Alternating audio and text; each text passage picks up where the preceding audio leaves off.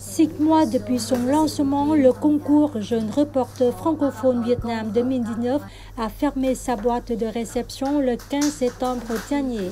Le jury de la demi-finale s'est réuni au siège du courrier du Vietnam, organisateur de ce concours, pour sélectionner les 20 meilleurs articles.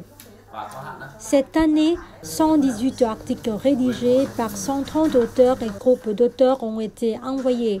Les articles traitent de sujets très variés allant de la présentation des paysages touristiques du Vietnam à des sujets de société plus actuels. Ayant pour thème le pouvoir des mots, le concours Jeune reporter francophone Vietnam 2019 est soutenu principalement par le Bureau régional Asie-Pacifique de l'Organisation internationale de la francophonie OIF.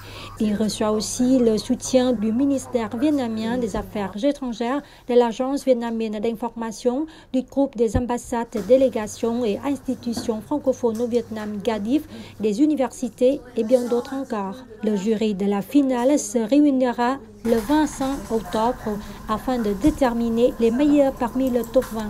Les votes pour le prix du public ont commencé à partir du 12 octobre. Selon les prévisions, la cérémonie de remise des prix se déroulera le 8 novembre au siège social du Corée du Vietnam, 77 rue Lý à Hanoi.